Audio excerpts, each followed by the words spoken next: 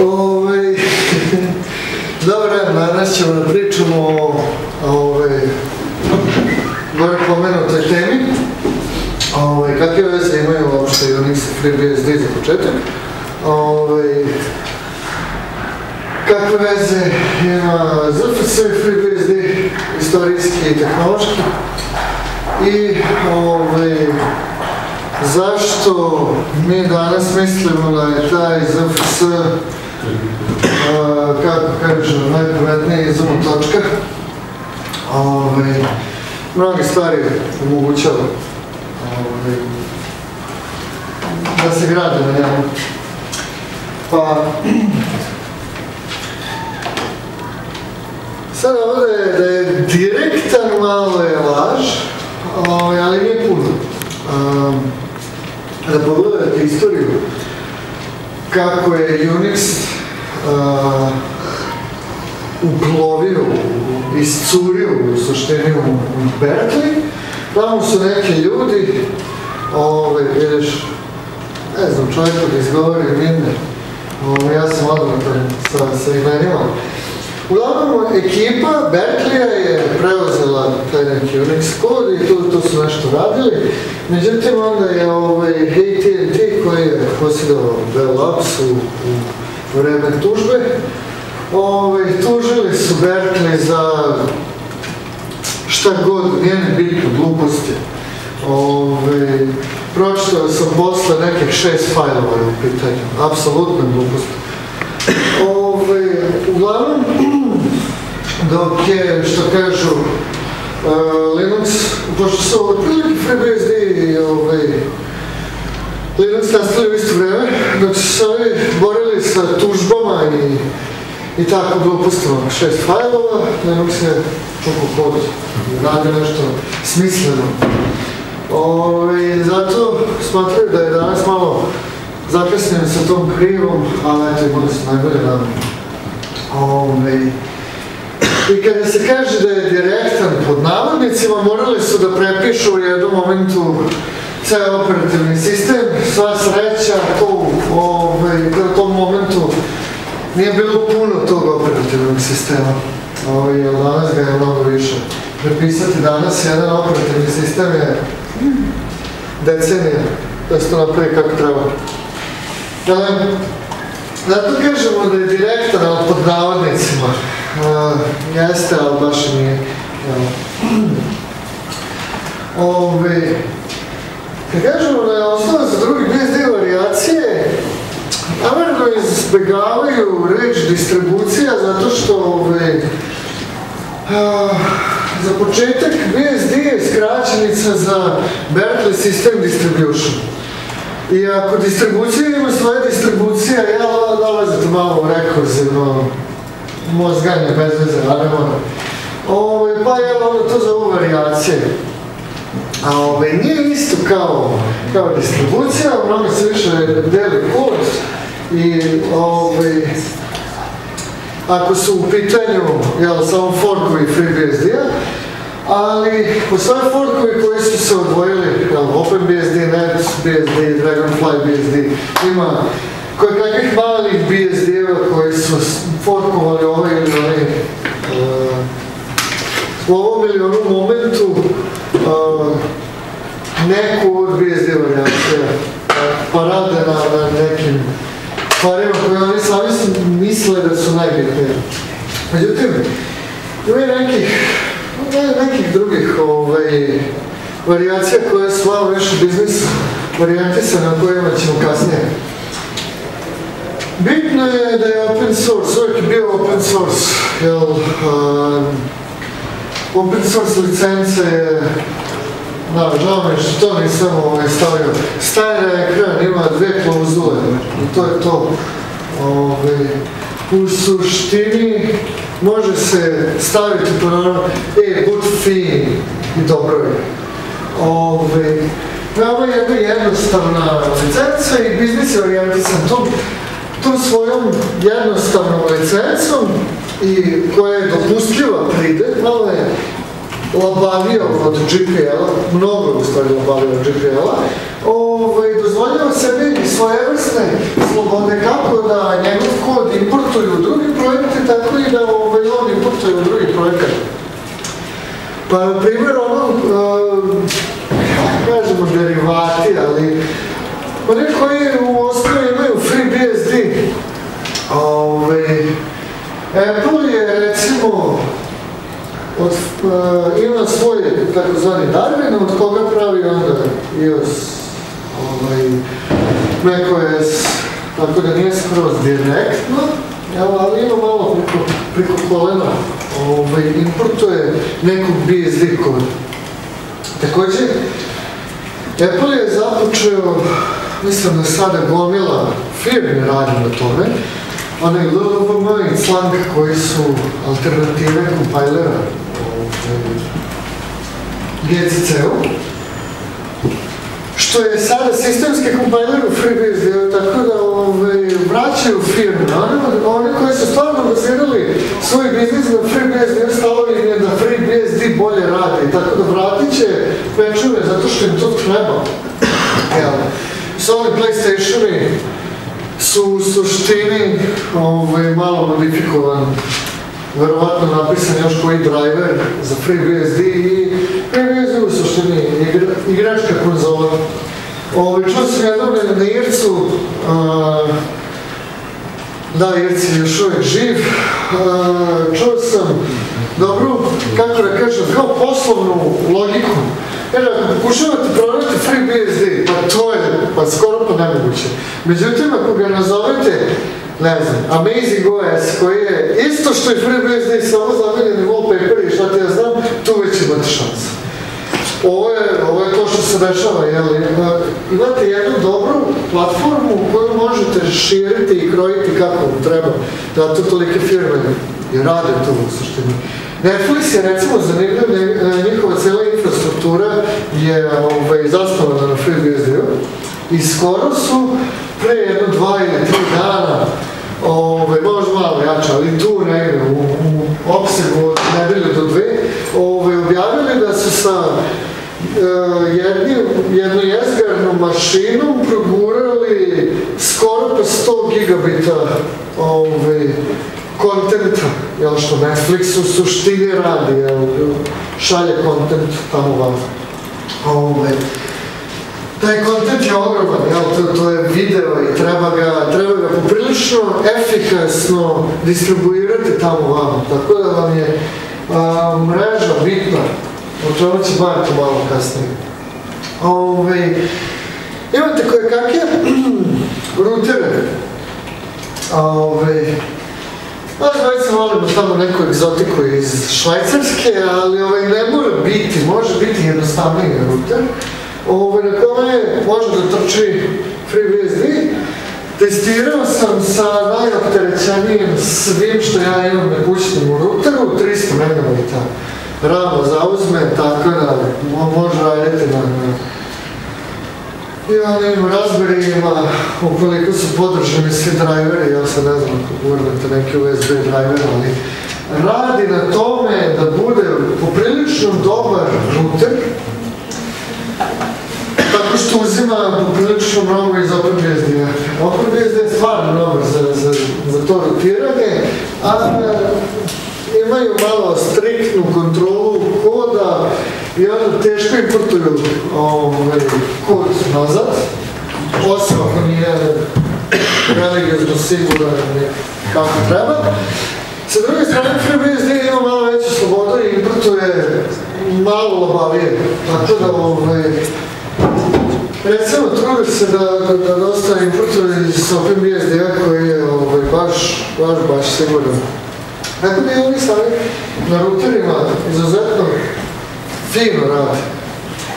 I ono što je istorijski se desilo kada smo napisali, mi kao civilizacija, kada smo napisali TCP IP stack, ovo je the internet, ovo će biti internet, to je trebalo da implementira nekim frameworkom, nekim nekom bibliotekom. To se danas zove BSD soketi i mislim da ne postoji operativni sistem koji ih ne koriste, čak i Linux.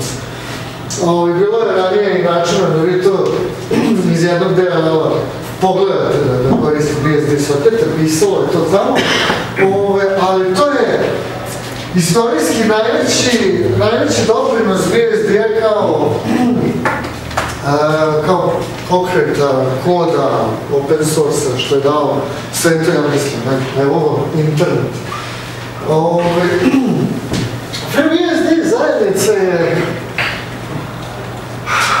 Ajde ovako, ja sam krenuo ponovo da se bavim FreeBSD-om posle 2005. sad prošle godine u septembru. I navikao sam na Linux i Linux zajednice i mislio sam da nešto znam ovaj, o, o tim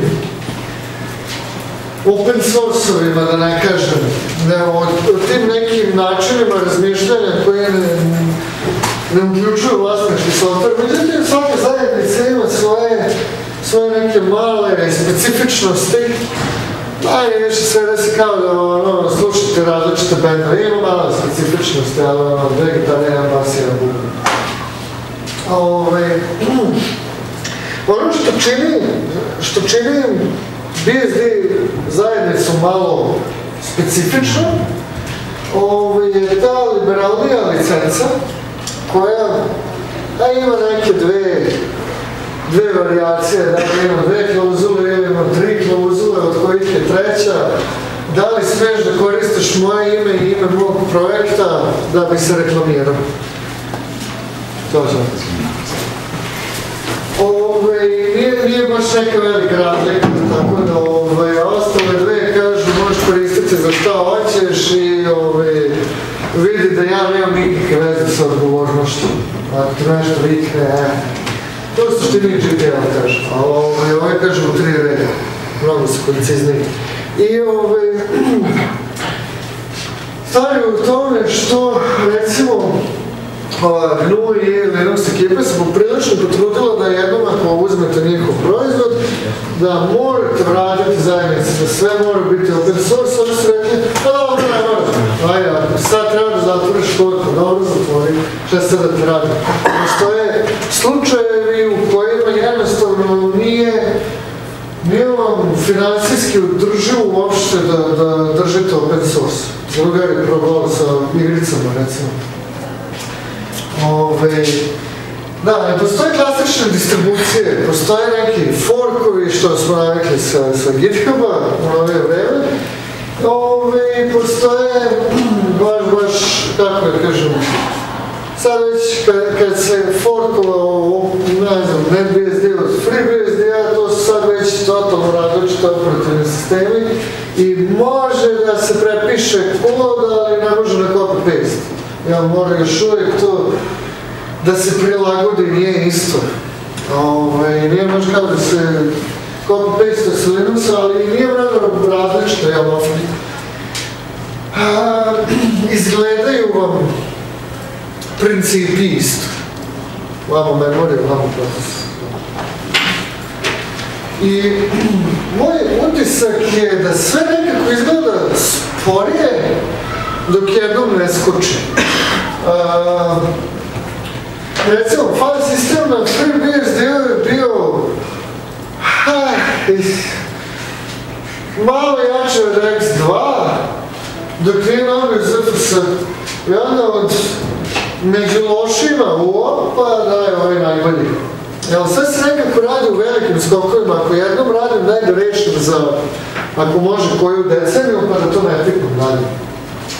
I u tom smislu sporije, nema, nema toliko, nije toliko uopšte dinamičko okruženje, dešavaju se stvari, ima istraživanja, ima šta te ja znam, ali nekom kao meni, ko dolazi iz Linux okruženja, izgleda kao da se stvari sporije pomeraju.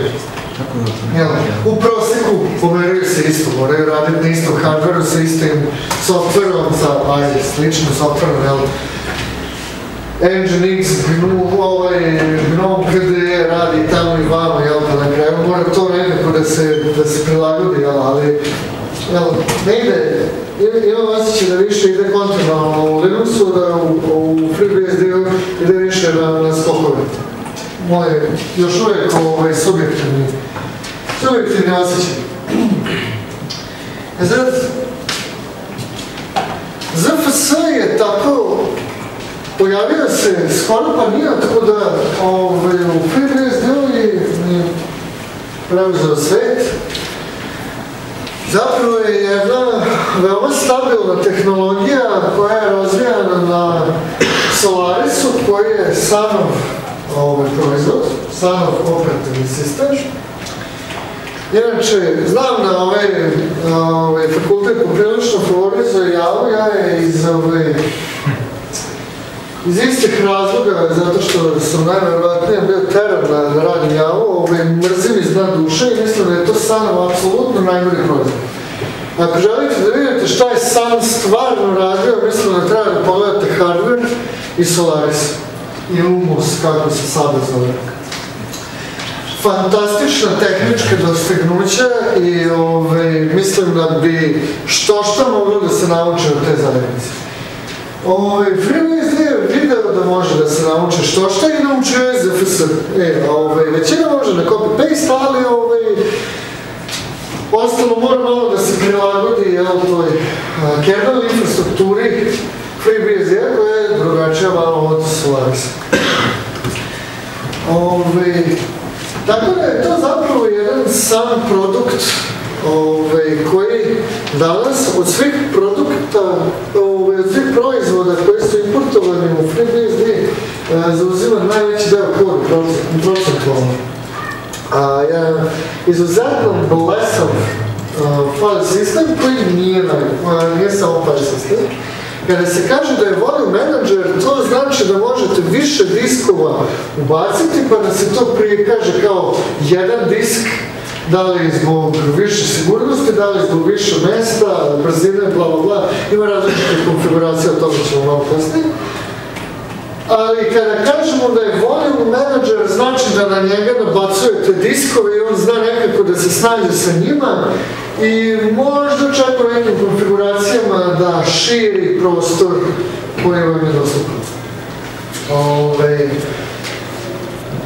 trenutno je najbolji file sistem koji imamo Vidjet ćemo posle statistike, ove, mislim neke brojke, koje valjda svako predavanje mora da ima, ne bi opravdalo svoj autoritet.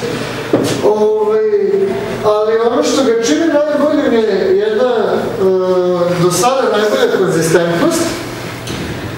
E, zašto sumnjam da je samo trenutno? Zato što Dragonfly BSD ekipa ima jedan blesan file sistem koji isto tako treba proveriti. Šta radi, zove se Hammer rade na Hammeru 2 i taj Hammer 2 obećava da će biti još veća ludina. Iskreno se nadam da ćemo dobiti alternativu ovako na nečemu dobrom, ovaj, pa da vidimo što bude raz. I ovaj, sam ZFS sa svojim setom nekih atributa i onoga što nudi kao, kao tehnološki šta je izvodljivo sa njim, u tom smislu šta nudi, može se graditi nešto što do sada je ili bilo nezgodno ili skoro nemoće.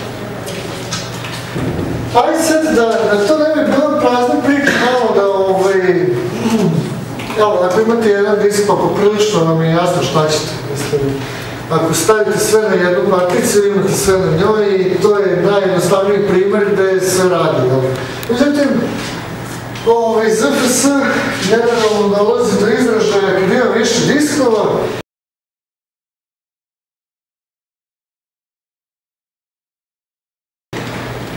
Ovo, sad, jel, ima neko da ne zna šta je reč, slobodno, ja mislim da se vremena. Ukida neko marca, ne? na, pa u suštini šta se piše? Piše na jedan disk, piše se na drugi u red konfiguraciji koja se zove 1. Ako treba da je više disk, evo sad kao ako rikne jedan, ovaj, ostaje drugi, pa može se izvući dok ja odem do Vin Vina i nazad, kupim drugi disk, ja možda izdržim. Ove, ja kao ako treba malo više mesta, jel pravimo neki storage koji je velik, ovaj, tipa Netflixa, jel, njima treba drugačija red konfiguracija, pa je pet, ovaj, taj o kome dobije se, koliko, jedan disk se gubi kada, kada se gleda ovaj,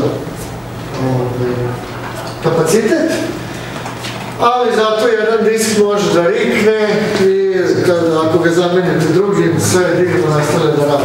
Tako da je veća, ovaj, veća iskorišćenost tih diskova, još uvijek može jedan da rikne. Ovaj, statistički ovaj, u, ovoj konfiguraciji povećava se šansa da će jedan riknut, pošto ima duplo više nego na prošloj slici. Ovaj, ali ne, možete mirovati beskonačno velike diskove, pošto nema ove beskonačno velike diskove, pa kada vam trebaju velike, onda ovako. Međutim, imamo jedan problem. Sad šta ovo znači? U onom miru divno je kad vama rikne jedan disk, međutim šta kada ovaj, jedan disk kaže nula, a drugi kaže jedan, kome verujete? Ne znate kome ćete. Ove, mi živimo u realnom svetu gde ove, se diskovi prave Tajvan Kina i ti diskovi pokazuju da će im bitovi flipovati ponekad i to što imam kopiju mi nije, mi nije dovoljno jer više kome Ove, sa druge strane ono što se dešava na ove, na nivou fizike je da kvantni efekt, toliko sada skupljamo te informacije na one pločice javne, da kvantni efekti počinju da, da imaju ovaj, uticaja, pa će bit flipnuti sa 0 na 1 ili obratno, ovaj, tako, eto, ili odlučio. Ove, što je sitnije, to ona kvantna fizika sve više kvari. Sreća. I onda su skontali, pa da, ajde malo mi to drugačije da, da izorganizujemo. Imamo ovde dole ovaj jedan niz, to, to, su, to su podaci, to, to je pravi podatak. Ono što leže na, mislim, sve ovo leže na disku, ali ovo je onaj koristan podatak. Ajde tako da kažem. Ima i onaj jel, meta podatak, ako se to sad, ovaj, to neko stavilo, jel? Ali šta je bitno? da svaki od ovih uh, podataka imaju svoj hash koji se čuva ovaj, pored bloka. Da, sad na, na blokovi su 4 KB, od 4 KB ne znam koliko zauzno je 256, ovaj šla 256 se koristi koji ne znam koliko bitova zauzme kao hash i ako se ne slažu podatak i hash, disk crkava na tom bloku. Ali nije što su uradili to, nego ovaj hash i ovaj podatak. Kada pogledate disk, geometrijski na njemu su razbacani. Ovaj hash je, ne znam, ajde, ako bi memoriju pokazali ovako, ovaj hash je tu, a podatak je ovde. A, ideja je da ako vam nešto nagazi ovaj deo ovde i hash je tu, pa onda je sve otišlo ali ako je hash možda na drugoj strani, možda nije cijela geometrija diska, cijela elektronika riknula, možda može hash da se iščita. Jel, to, to je ideja. Ove, mislim, ideja matora, ne stavljaj sva jaja u istu kotaricu, jel, možda će spolupat samo jedna. Ove, to je ovdje ideja, te hashove stavljaj, stavljaj negdje drugdje. I sad običe sam ono ljutu statistiku i brojeve i sad ovo nešto znači, ali da, da. Ovaj drugi red, ne znam šta znači iskreno. Ovaj, to, to se propisuje sa Wikipedije i ovaj, veće je nego kod ostalih file sistema. Eto, tako, malo zahvaliti se. Ali ova ostala, ovaj, ostala tri reda imaju smisla. Ovaj, prvo, rekli su, dobro, ajde, 128 bita odmah. Da ne dođemo do toga da pređemo sa 32 na 64 pa opet treba prebacivati na nešto. I onda su rekli, pa dobro, što niste tipa 1024 ili ne znam nešto. Sa trenutnim tehnologijama bismo ovaj, alocirali svih 102, svi, sve kombinacije koje 128-bitni adresni prostor pruža, treba nam toliko energije da bismo isušili okeane. Tako da dovoljno je, dovoljno je adresnog prostora sigurno. Kad pređemo ono na neki interplanetarni, onda ćemo razmišljati. E, ali ovaj, sad ovaj drugi red je za zahvaljenje, jel, tu, tu smo najbolji. Ali treći red kaže, a, ovo su dva standarda u vezi, a, u ovom slučaju POSIX je mnogo širi standard, ali nas zanima ekstenzija koja je u vezi sa file sistemom i ekstenzijama file sistema, a NFS je Network File System, verzija 4, koja je isto nešto definisala. ZFS podržava oba, Ove, možda se kaže da će ovaj ili onaj. Mislim da ne može da podržava obu u isto vreme. Nisam je probao, ali ovaj, ovaj NFS kaže da ima malo veći set mogućnosti, pa se i češće koriste nego POSIX ovaj, kad je u Dakle, da, jel, pametno su izabrani ove defaultne vrednosti gde ako vi treba da ste kompatibilni sa nečim što je POSIX, može. E, I imate full disk enkripciju, što e, uvijek daju one primere, zamislite da ste banka i onda imate na diskovima tim podatke koji su osetljivi, imate bazu na njima i onda kada treba taj server da zamenite novim serverom koji ima druge diskove ili storage, to god, treba ove da upucate, ne znam, sačmarom, da ih izbušite burgijom, da tralala, ono, uništite ih bacačem plamena i otkud ja znam. Ove, međutim, e, ovo rešava taj problem tako što pa ne možete dekriptovati, mislim sa trenutnim tehnologijama ne, nema šanse da ćete dekriptovati onako kako FreeBSD napravi da je full disk enkripcija. To se zove geom zbog neke geometrije diska, a, dok su se diskovi vrtali i onda je geometrija bila bitna. Šta je na onim pločama i kako raspoređeno geometrijski, to je bilo bitno, pa je onda geom taj framework koji radi sa enkripcijom i to specifično ovaj Eli uh, deo tog geoma koji radi sa enkripcijom. Divota je u tome što slušao sam ovaj, mnogo pametnog ovaj, admina, kaže sada kada treba da vratim hard disk, na primjer, zbog ove a, garancije, Kaže, ne mogu da, da ga upucam sačvarom pa da kažem, e, nije radio, verujte mi.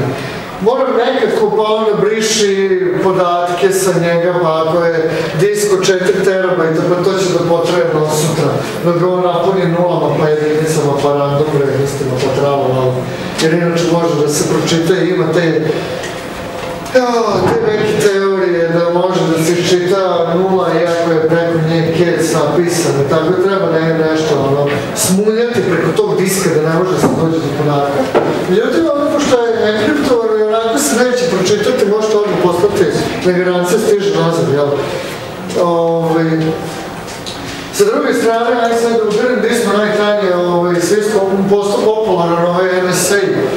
Ove, Pa ono vama znači ako na disku znate da je sve enkriptovano. E, danas koliko? 5 dolara je Digital Ocean mašina koju možete da enkriptujete tako da, da Digital Ocean ne može da pročita šta je na njoj. Da li je to bitno ili nije pitanje ovaj, za jel, van, van ove prezentacije, ali sad ako vam treba ta neka vrsta sigurnosti da niko ne može da pročita osim onome koje, kojima vi date pravo pristupa, to je, to je način da se, da se postigne. Enkriptujete sve i delate. E sad, pošto je ZFS neka mešavina tog rejda, što se kaže, volje menadžera i file sistema, onda su morali malo neke nomenklature da uvedu, da kažem, da dovedu neke nove imena. I one su samo u tom pulu, ali nisu još ne formatirani, ništa još nije napravljeno sa njima u momentu kada ih ubacite u. Ove, Mislim, to, to baš nije tačno, zato što ovaj, morate kazati koja je konfiguracija pula u momentu kada ga pravite, ali ovaj, sada nam treba malo drugačije da razmišljamo o tome. Uh, kada kažemo jedan pool, on uh, može da ima različite konfiguracije, ali ne smatramo, ne, ne, ne smatramo da postoji neka defaultna konfiguracija onih diskova u tom poolu, samo su ubačeni tu i koje egzistiraju. Posle može da se napravi od njih onaj RAID 1, RAID 5, RAID 2, otkud ja znam koji već.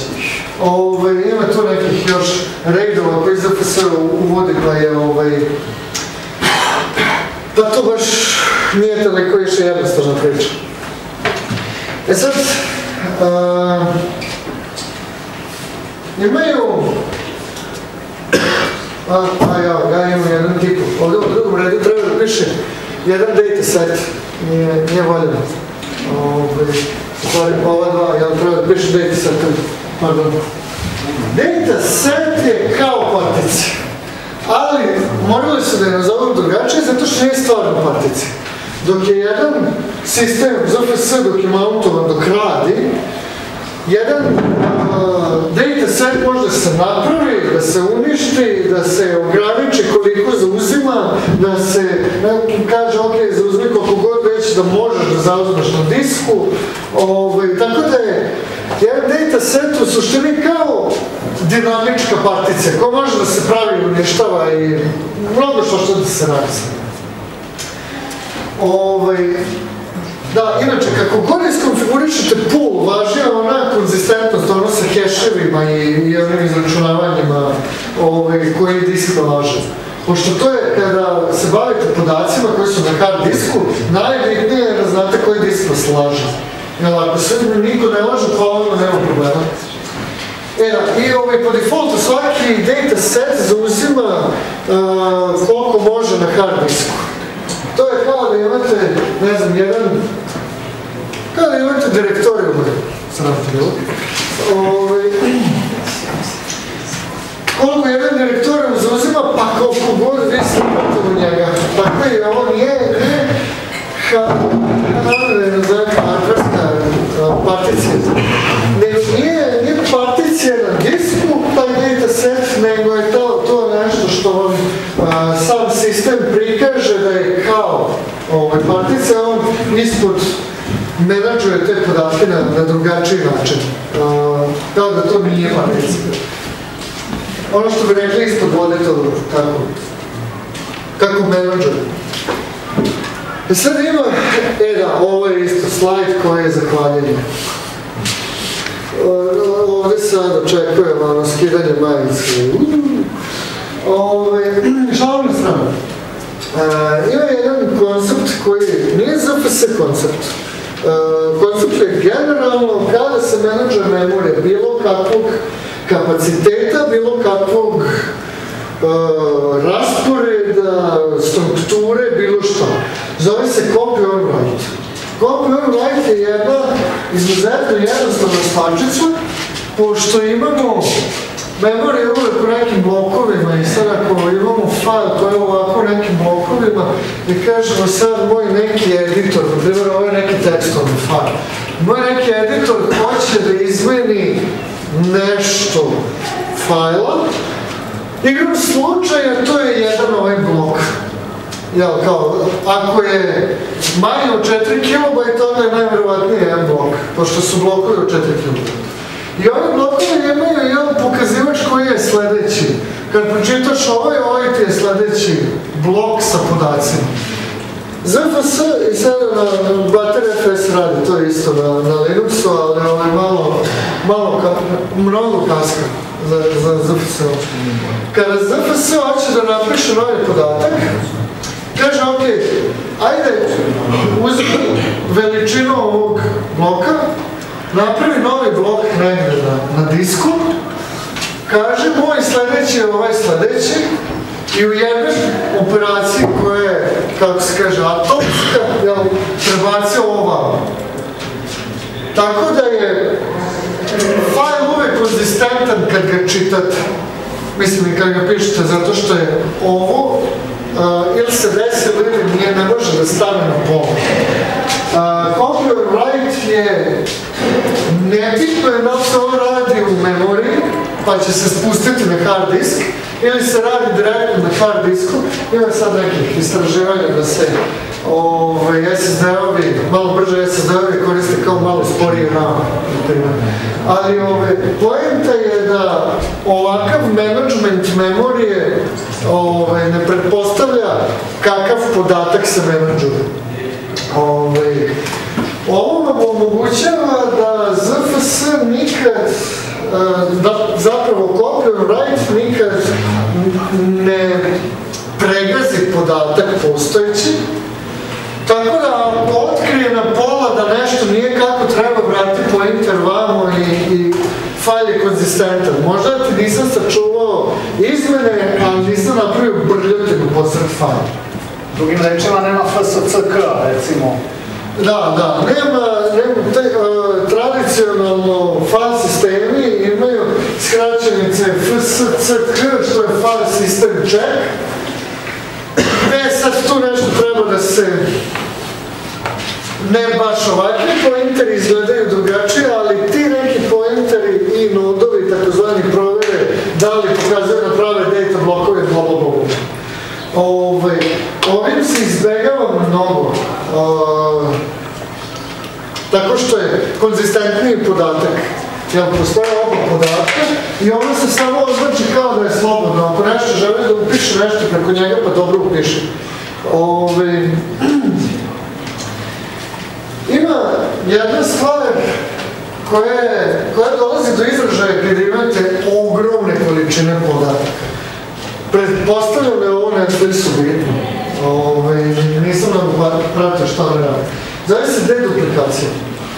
Ako skonta ZFS da imate a, na primjer dve virtualne mašine koje u sebi imaju Fedora. Fedora ima dosta, zapravo svaki operativni sistem koji Fedora ima dosta istih blokova koji su ono, kernel, libs, driveri, sistem, bla bla bla, ali isti su do na bit. Uh, ZFS može, ako mu je uključena deduplikacija, da skonta da uh, hoć, hoćete da zauzmete isti podatak na više mesta i onda ga zauzme samo na jedno mesto, a na ostalima kažem, ok, znam šta si hteo, gde si hteo još ovakav podatak da zauzmeš. Uh, pošto držim mapu gde je šta zauzeto u memoriji, zato mnogo memorije zauzimam. Inače bi pretrage ovaj, šta je zauzeto, ako bi išlo samo sa hard diska, pa ne iljanje. Ili malo tiša ako je SSD. Ove, evo, ako vam je na raspolaganju biznis koji ima takve potrebe da je puno sličnih podataka, ali, je, ali može razmeći sa memorijom, ide, kako Marko beše, gigabajt na terabajt. Tako je. Znači, treba vam gigabajt memorije da biste uključili deduplikaciju na disku terabajt.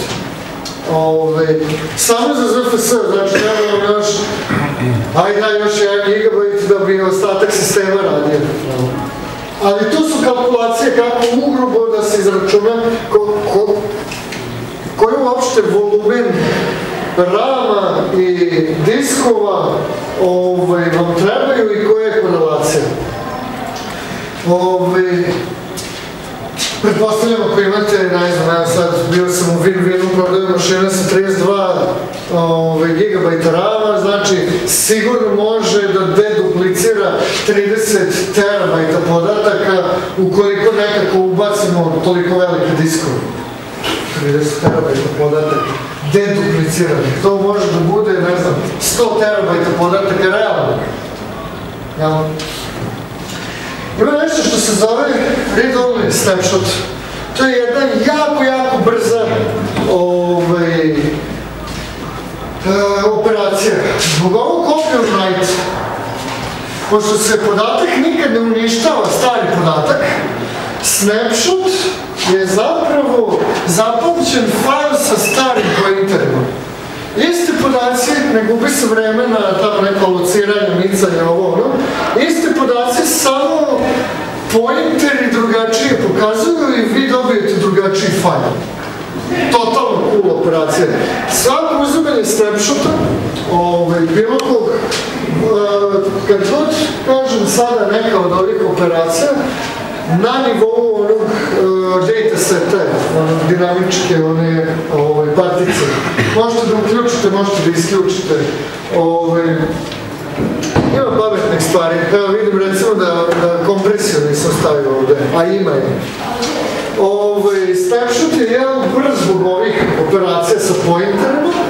Mene barem kad su učili ovaj, Mašulović nam je držao taj predmet, kaže, a šta će nam pointeri? Zašto bi neko želeo da koristi pointer? Pa ovo je 64 bita, a ovo je 4 kilobajta. Jer manipulacija ovim je neuporedivo brže i manje za resurse, manje Instrukcija vam treba da biste, ili ne znam, protok ako je na disku, da biste napisali ovo sprem ovoga. Jel? I ovaj, zato su operacije brze. A, I pošto se da, zapravo se nikad ništa ne briše. Ne se briše, nego se samo oslobodi, što znači prebaci se pointer na e, ti si sada u, u ovoj grupi koja se zove slobodni blokovi. Ti si sad slobodni, leti. Ove, ima server sieve koja je luda jedna operacija. A, imate data set na jednom serveru, imate data set na drugom serveru. Sa ovog pošaljete data set na ovaj. Kaže. Za pitanje za deduplikacije još jednom, ako se cijelo to čuva u rano, šta desi kad se gasi? On se prebacuje nekad na disk ili... Ja, prebacuje u swap, valjda. Pomozi. Prebacuje svakako, da. Zapiši Ja mislim da taj sadržaj rama negde u neko parče diska i kasnije se ponovo učita kada se pali. To su meta podaci koji preživljavaju E, pa, pitanje je, ako je swap nula, onda najverovatnije nisi dobro konfigurisao storage. Pa da, bolje što da radim. Pa, da. Znači, ako radite deduplikacije, onda da uzmemo rama imamo toliko najbolje svape, napravimo za svaki slučaj. Ja mislim, ako on tebi odvali ovu, e, ako konfigurišeš deduplikaciju, pošto imaš FreeNAS, kao, možeš da ga uzmeš kao appliance, kao kutiju, a možeš da uzmeš sam kutiju, koja je, da li ovako neka kutija, pa da ti instaliraš na njegu, da, da sam instaliraš. Znaju ljudi oko ZFS-a, ako ćeš tako nešto da dupliciraš, uzmi FreeNAS.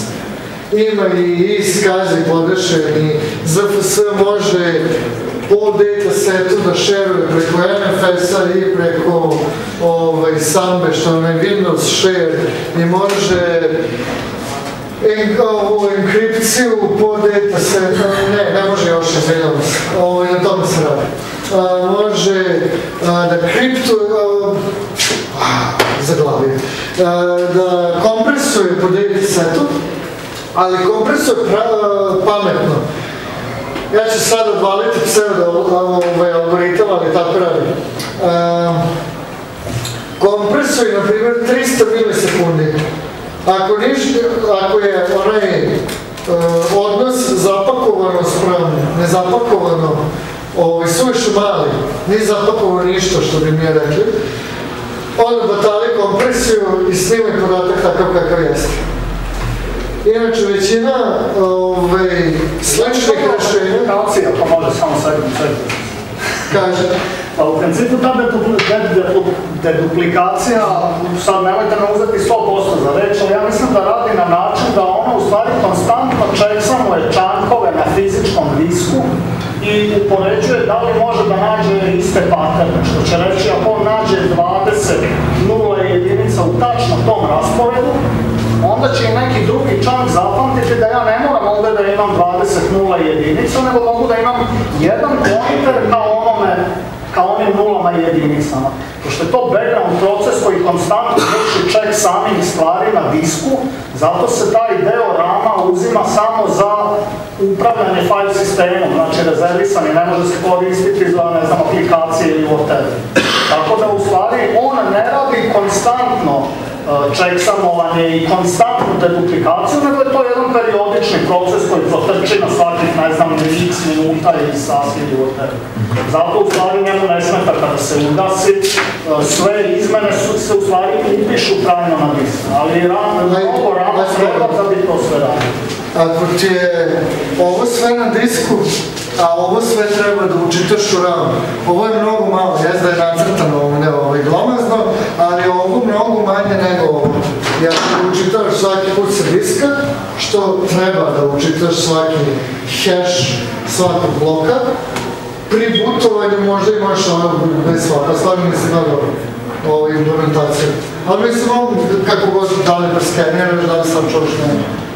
A rebuild je u najgorem slučaju, ne? Pa to da, ima i rebuild, ima neki resilver, ima je gomila, ovo je jedan, e, ovo meni lično najzanimljivije, ovo, je ludilo, ovaj, možete konstantno da šaljete sa, na primjer, produkcijnog servera na backup server podatke, inicijalno mora da pošalje sve, to je, mora nekako, ali onda zna na nivou bloka da pošalje razlike.